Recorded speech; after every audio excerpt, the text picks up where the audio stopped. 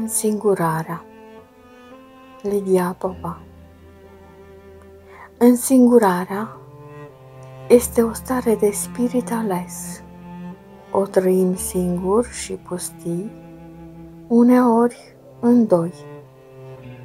Am adoptat această stare de însingurare ca o rugăciune rostită la lumina lămpii, poate mult prea des supărător de des simt.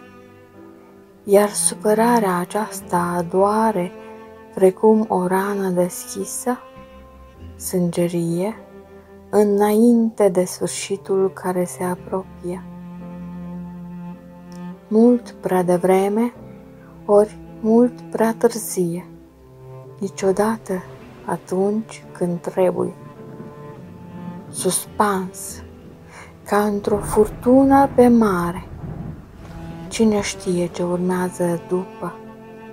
Se scufundă această navă în derivă?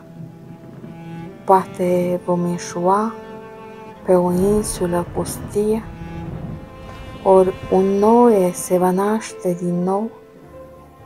Iar pribegia va fi doar visul urât din care hipnotici ne-am trezit spre a renaște, mai obosiți ca oricând, de viacul acesta care a început cu sfârșit, când vremelnicia a tulburat esența eternului mit ca un paradis între oceane de așteptări.